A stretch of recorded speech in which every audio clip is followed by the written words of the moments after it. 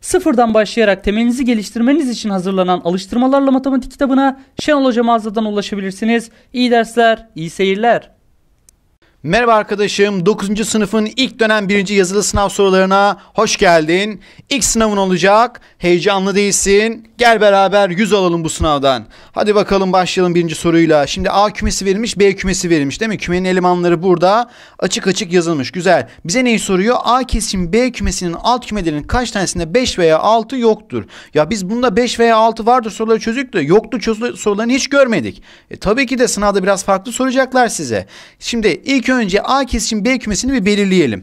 A kesişim B kümesini belirlerken şunu yapıyorduk. A ve B kümeleri verilmiş bana. Ortak olanlara bakıyorduk. Ortak olanlar 4, 5 ve 6. Hemen bunları yazalım 4, 5 ve 6'yı. Şimdi bu kümeyle uğraşacağım ben.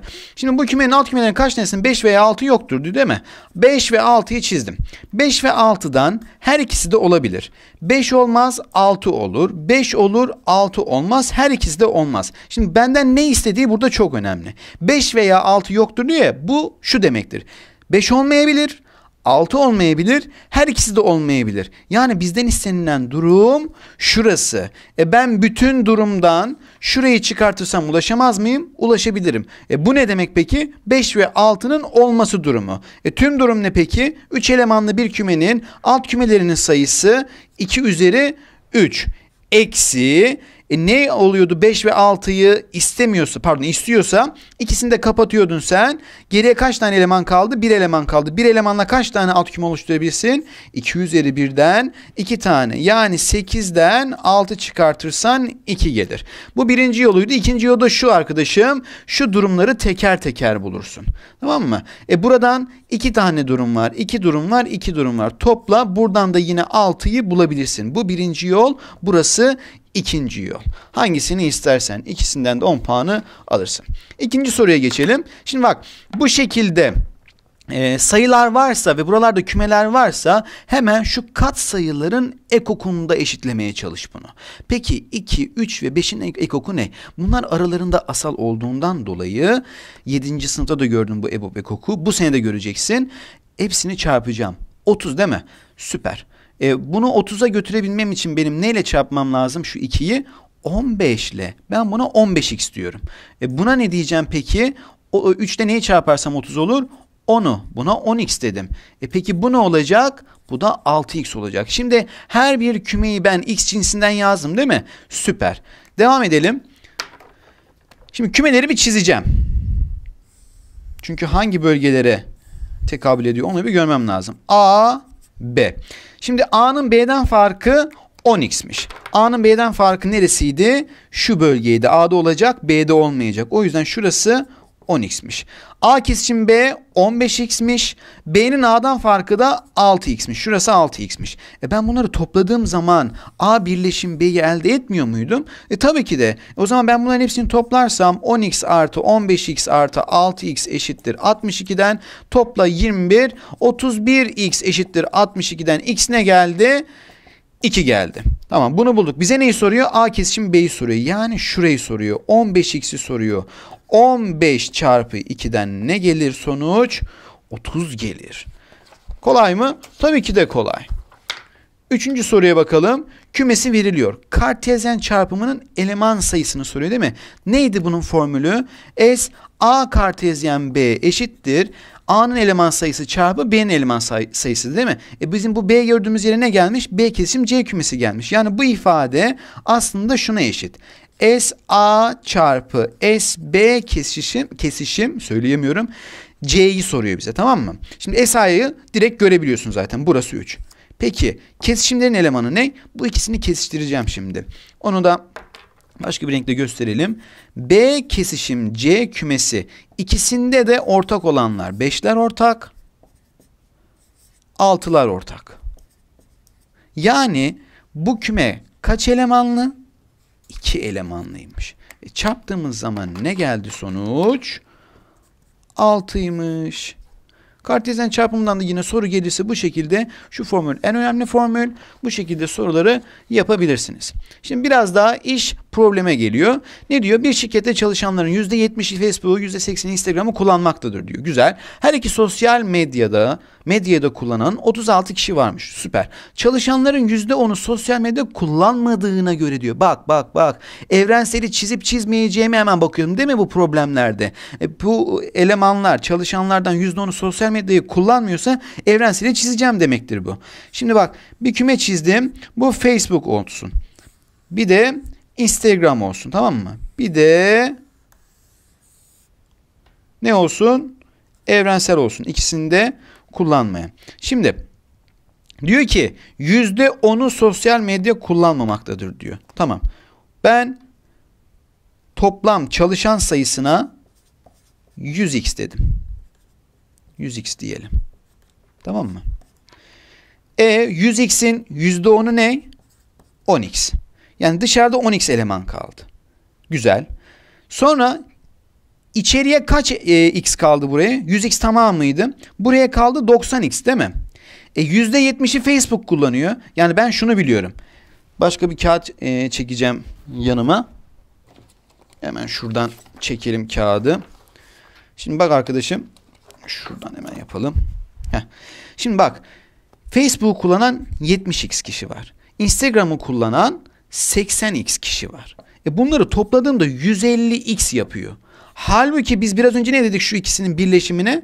90x dedik değil mi? Yani S, F birleşim I 90x'e eşit. E fakat ben bunları topladığımda 150x buluyorum. Niye fazla geliyor? Çünkü iki kere kesişimini toplamışım ben. Formülize edersek şu değil miydi bizim formülümüz? S, F artı S, I eksi S, F kesişim i'di değil mi? Şurası e, verilmiş bana 90x. Burası verilmiş bana 70x. Burası verilmiş bana 80x. Eksi S, F kesişim i değil mi? Şimdi bak burayı topla 150x yaptı değil mi? 90x. 150'den ne çıkartırsam 90 kalır? 60x çıkartırsam. Demek ki e, bunların kesişimi yani şurası 60x'miş. Burayı buldum. Şimdi bak devam ediyorum. Facebook kullanan kaç kişiydi? 70x'ti değil mi? Bu Facebook'tu. Bu da Instagram'dı. Facebook kullanan 70x'ti ya. 60x'i burada. E o zaman buraya kaç kaldı? 10x kaldı. Süper. E peki 60x'i burada Instagram kullananların 80x'ti. Buraya kaldı 20x. Mükemmel. Şimdi devam edelim. Diyor ki her iki sosyal medyayı da kullanan 36 kişi varmış. E tamam. Her iki sosyal medyayı da kullanan kaç kişi var burada? 60x kişi var. Bunu başka bir renkle yapayım karışmasın. Şimdi 60x eşittir 36 mı? Buradan her tarafa 60'a bölersen x ne gelir? Sadeleştirdiğinde bunu 6'ya böl. 6'ya böl. 6 bölü 10 geldi. Daha da sadeleştir de bilerek sadeleştirmiyorum. E bana neyi soruyor peki? Sadece Instagram'ı kullanan kaç kişi vardır diyor değil mi? Sadece Instagram'ı kullanan 20x kişiydi. 20 çarpı x neydi? 6 bölü 10. Oradan ne geldi? Şunlar götürdü birbirini. 12 kişiymiş. Tamam arkadaşım? Dikkat edeceğin şey şu. Evrenseli çizeceğim mi çizmeyeceğim mi? E, kullanmayan varsa, her ikisini de kullanmayan varsa evrenseli çizmek zorundasın. Çizdikten sonra tek bölgeyi ifade eden yerleri yerleştir. Şurası %10 sosyal medyayı kullanmadı diyor ya. O yüzden ben direkt buraya yerleştirdim. Tamam mı?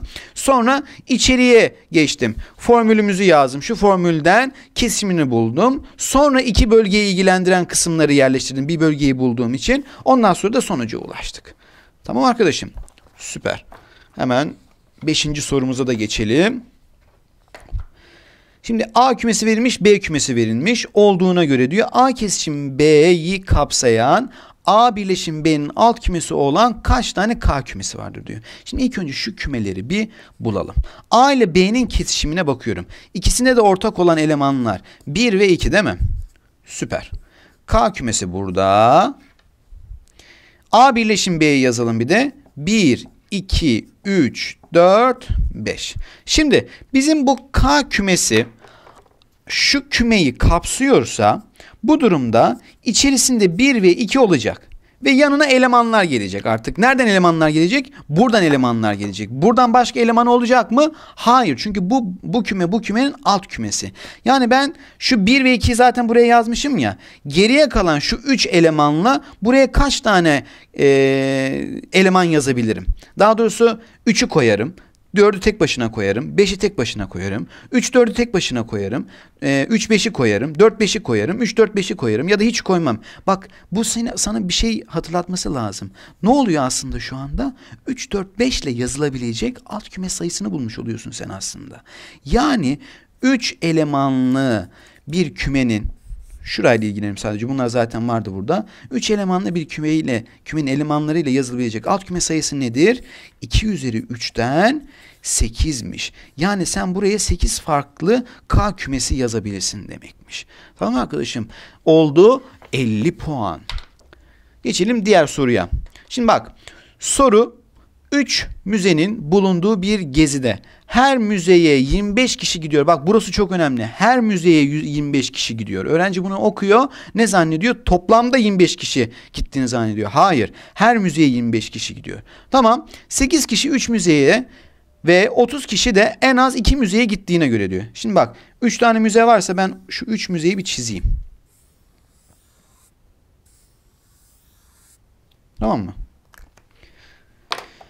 Yerleştirme yapıyorum. Bize diyor ki sadece bir müzeye giden kaç kişi vardır diyor ya. O yüzden ben şuraya X, şuraya Y, şuraya Z dedim. Şunlar sadece bir müzeye gidenler. Tamam bunu da yerleştirdim. Daha sonra şu araya yerleştireyim. 8 kişi de 3 müzeye gidiyormuş. Yani şu arası 8'miş. Geriye kalan yerlere de A, B, C diyorum. A, B, C dedim. Tamam mı? Şimdi her müzeye 25 kişi mi gidiyormuş? Süper. Şimdi bunu bir ayarlayalım ilk önce. Hemen şu yandan şurayı ayarlayalım. Her müzeye 25 kişi gittiğine göre şu müzeye 25 kişi gidiyor. Yani x artı a artı b artı 8 eşittir 25'miş. Bu bir. Diğer taraftan şuraya da 25 kişi gidiyor. B artı Y artı C artı 8 eşittir 25 yaptı. Şuraya da gidiyor. Z artı A artı C artı 8 eşittir 25'miş. Bunu bulduk. Ee, devam edelim. 8 kişiyi yerleştirdik. 30 kişi de en az 2 müzeye gidiyor. Bak bu ne demek en az 2 müzeye gidiyor demek? 2 müzeye de gidebilir demek. 3 müzeye de gidebiliyor demek. E bunlar neresi? A, B, C ve 8. Yani A artı B artı C artı 8 neye eşitmiş? 30'a. E buradan A artı B artı C ne geldi? 22 geldi. Bu elimde duruyor şu anda. Peki ben şurada ne yapacağım? Bak arkadaşım bunların hepsini taraf tarafa toplarsan hepsini şuradan anlatıyorum. Hepsini taraf tarafa topladığında x artı y artı z artı bak iki tane a var. İki tane b var. iki tane de c var. Ben buraya iki parantezine aldım. Artı e, topladığın zaman ne geldi? 3 tane 8'i 24 eşittir 75 geldi. Tamam mı? Şimdi bize zaten nereyi soruyordu? X artı Y artı Z'yi soruyordu. Yani şurayı soruyor zaten bana. E ben burayı bulmadım mı? Buldum. Aslında soru bitti. 22 değil mi burası? 2 çarpı 22 artı 24 eşittir 75. Şurası soru işaretiydi. Artı soru işareti artı şurası 44 yaptı. 24 daha ekle 68 eşittir. 75'ten bizim soru işaretimiz neymiş? Bize sorulan yer. Bunu bu tarafa attığınızda 7 gelirmiş. Yani cevap 7'ymiş. 7 kişi sadece bir müzeye gidiyormuş. Tamam arkadaşım. Tekrar bir analiz et. Süper. Altıncı sorumuzu da geçebiliriz. Şimdi kümeleri veriliyormuş. Buna göre A birleşim B kümesi kaç elemandır diyor. En gıcığı da buydu. Niye? Çünkü bunu bulabilmek için A birleşim B eşittir. A'nın eleman sayısını, B'nin eleman sayısını bulacaksın. Bir de A kesişim B'nin eleman sayısını bunlardan çıkartacaksın. Yani 1, 2, 3 tane yer bulman lazım senin. Şimdi ilk önce biz bir şurada A kesişim B kümesini bir yazalım. X'lerden oluşuyor. Öyle ki şimdi bak A kümesinin elemanları şuraya yazıyorum. İlk eleman ne? pozitif tam sayı şey evet pozitif tam sayı diyor tamam mı? Pozitif tam sayılar e, birden başlar. Peki 2'nin katı diyor değil mi? Yani 2'nin katı olacak. 2, 4, böyle böyle böyle gidecek. Nereye kadar? Normalde altında eşitlik olsaydı 200'e kadar gidecekti. Fakat altında eşitlik olmadığı için 200'den küçük olan ilk 2'nin e, katı sayı nedir? 198'dir. Bu kümenin elemanları buymuş. Şimdi buna geçiyorum. Bu da ne diyor? Yine pozitif tam sayı diyor. 3'ün katı olacak diyor. Tamam 3'ün katı e, pozitif ilk tam sayı 3'tür. 6 diye gidiyor. Nereye kadar? Normalde 202'den e, 202'den küçük olan ilk 3'ün katı sayı 201'dir. Kümenin elemanlarını yazdım değil mi? Süper. Şimdi bak A kesişim B'de şudur. Hem 2'nin hem de 3'ün katı olan bir sayı düşünün. Nedir? Süper. 6 değil mi? O zaman pozitif olan ilk 2 ve 3'ün katı olan sayı ne?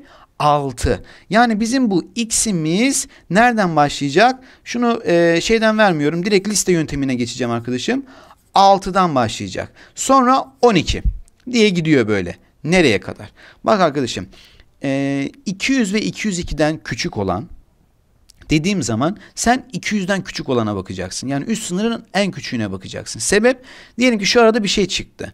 E bu aradaki sayı bunda yok ki alasın. Çünkü A kesişim B ikisinde de olacak ya. O yüzden alt sınır üst sınır küçük olana alacaksın. 200'den küçük olan e, 6'nın katı sayı nedir? X sayı nedir? 100 90 şimdi bak 190 küsur olacak ya. Hem 2'ye hem 3'e bölünecek değil mi? Süper. Şimdi 200 olsaydı bölünmüyor değil mi? 3'e bölünmüyor. E 199 olsa 2'ye bölünmüyor. E 198 2'ye bölünüyor, 3'e de bölünüyor. O yüzden 198'miş son sayımız. Tamam mı bak? Şurası çift olduğu için 2'ye bölündü. Rakamları topla 3'e de böl hem 2'ye hem 3'e bölünebiliyorsa 6'ya da bölünebiliyor demektir. Şimdi bunların eleman sayılarını bulacağız. A'nın eleman sayısını bulalım. A'nın eleman sayısını S A diyorum. Neydi formül? Son terim. Son terim 198 eksi. İlk terim ne? 2 bölü artış miktarı artı 1. Buradan ne geldi? Çıkarttığınız zaman 99 geldi. Tamam mı? S B neye eşit peki? Son terim eksi ilk terim bölü artış miktarı artı 1. Buradan da 67 geldi. Şimdi bir de A kesişim B'yi bulalım. Tam şu araya koyalım. S A kesişim B eşittir. Son terim eksi ilk terim bölü artış miktarı artı 1. Bunu da hesaplarsanız 33 geldiğini göreceksiniz arkadaşım.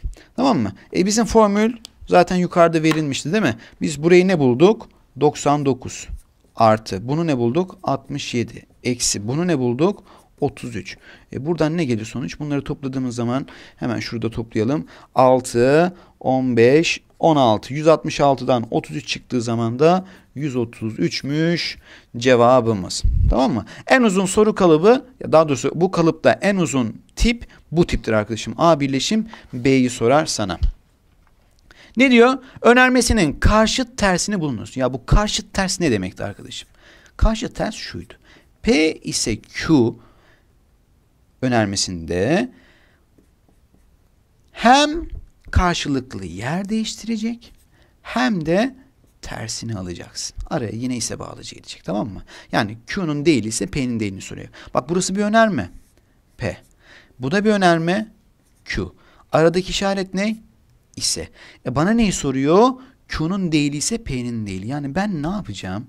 En az bir x elemanıdır doğal sayının x kare büyük eşittir 25'in değili ise her x elemanıdır doğal sayının x küçüktür sıfırın değerini alacağım. E bu değer alma, almaları nasıl yapıyorduk? Bir niceleyicinin değerini alıyordun. Bir de şuradaki işaretin değerini alıyor değil mi? En az birinin değili herdi. X elemanıdır. Neyinin? Bak arkadaşım sakın buraya elemanı değildir gibi bir şey yazma. Bunlara hiç dokunmuyorsun. Niceleyiciyle, niceleyiciyle şu aradaki işaretle uğraşıyorsun. Şimdi e, büyük eşittirin tersi, olumsuzu x kare küçüktür 25. Bak altta eşitlik varsa altta eşitlik olmayacak. Büyükse küçüğe dönüşecek tamam mı? İse şöyle yazalım. ise en az, e, her bağlı şey niceleyicisinin tümleyeni en az 1 x büyük eşittir 0 oldu. Buradan da yine tam puan alırsın bunu yazarsan. Dokuzuncu örneğe bakalım. Şimdi 3 tane önerme vermiş bana. Bileşik önermesinin karşıtının doğruluk değerini soruyorsa sana bil ki sen burada bir sıfırlarla uğraşacaksın. Tamam mı arkadaşım? E, e bir sıfırları nasıl bulacağım hocam? niceleyiciye bakacaksın sağlıyor mu sağlamıyor mu? Şimdi bir hatırlatma yapalım. Her bağlıcında bir tane bile sağlamayan bulduğunda sonuç sıfır oluyordu tamam mı? Her bağlıcında sağlamayan bulduğunda sıfır oluyordu. En az bir bağlacında bir tane sağlayan bulduğunda sonuç bir oluyordu tamam mı? Şimdi buna bakacağız biz. Her x elemanı için x kare artı 15 sıfırdan büyüktür diyor. E doğru.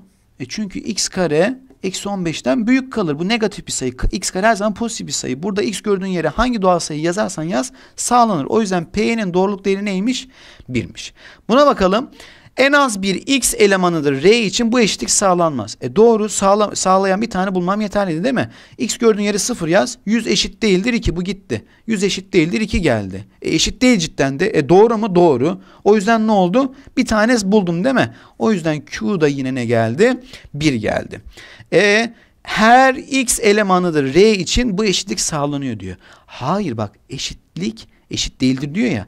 X e, bunu at bu tarafa, bunu at bu tarafa. X eşit eşittir 11 değil geldi değil mi? Bak x 11 olamıyor. X gördüğün yeri 11 yaz. Bunlar eşit olur birbirine. E burada diyor ki eşit değildir diyor. O yüzden sağlanmayan bir tane buldum. Sağlanmayan bir tane bulduğum için bunun doğruluk değeri ne oldu? Sıfır oldu. Bundan sonra soru bitti zaten. Şurayla uğraşacaksın sadece. Bak şimdi koy yerine P sıfıra eşitse P'nin değeri neye eşittir peki? P 1'e eşitse P'nin değeri 0 eşittir değil mi? Yazdım yerine 0 veya Q ne? 1 ise R ne? 0.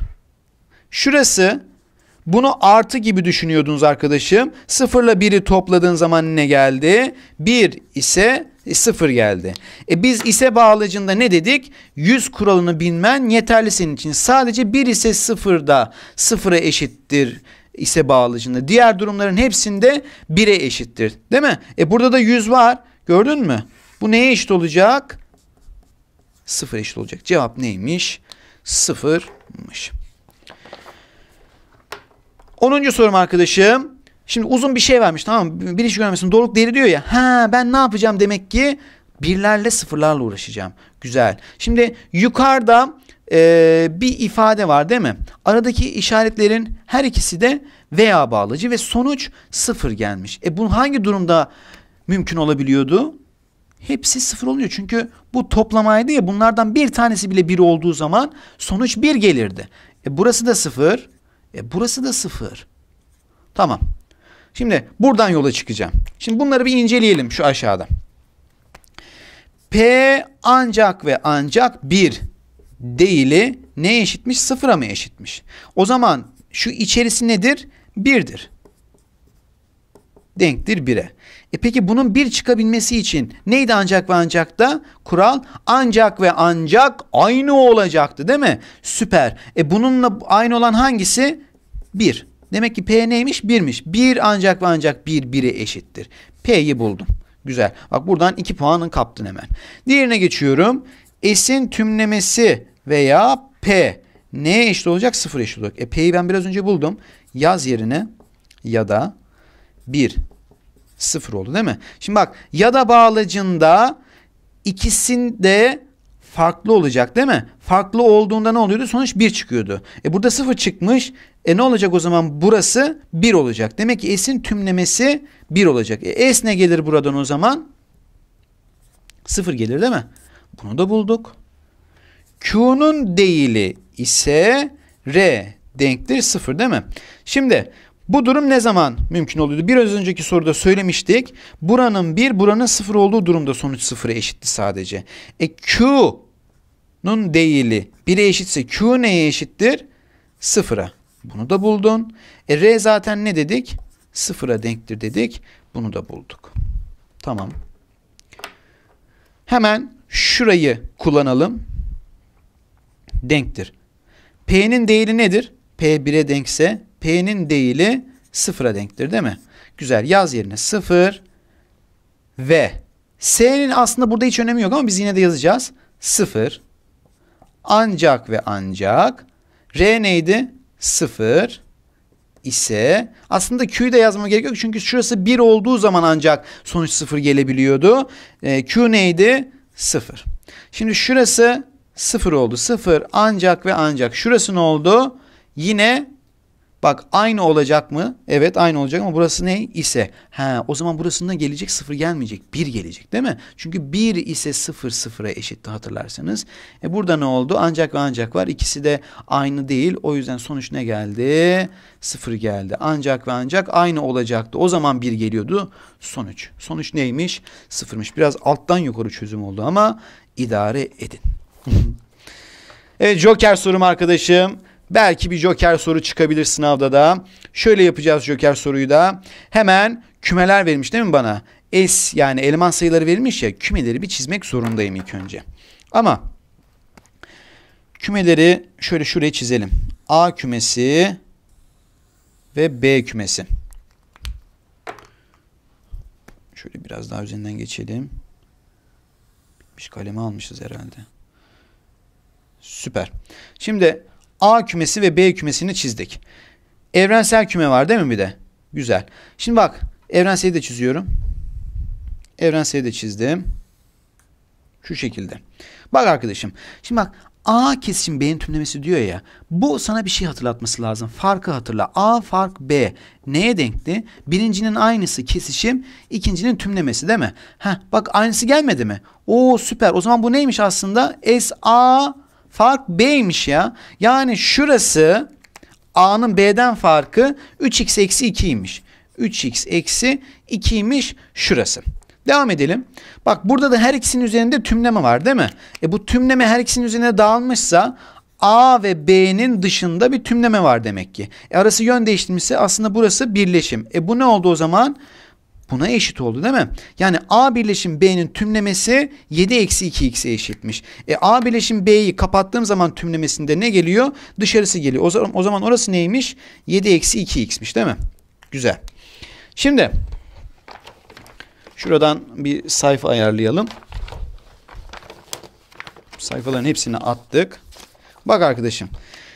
Burası şurası ve B topladığım zaman ne gelecek? Evrensel küme gelecek değil mi? Süper. Şimdi bak bir toplayalım o zaman. 3x eksi 2 artı 7 eksi 2x artı B kümesi. Bak B kümesini tarıyorum şurası. Bütün bölgeleri taramış oldum. S B eşittir S E'ye eşit olacak. E burası ne geldi?